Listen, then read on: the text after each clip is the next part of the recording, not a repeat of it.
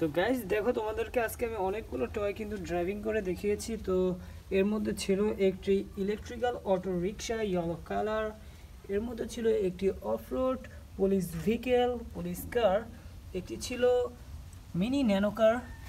একটি ছিল অ্যাম্বুলেন্স এবং একটি ছিল Indian CNG auto rickshaw guys তো ভিডিওটি ভালো লাগলে কিন্তু অবশ্যই লাইক করে দিবে এবং নতুন হয়ে থাকলে চ্যানেলটিকে সাবস্ক্রাইব করে দিবে দেখা হবে পরবর্তী আরও একটি ভিডিওতে সবাই ভালো থাকবে আল্লাহ হাফেজ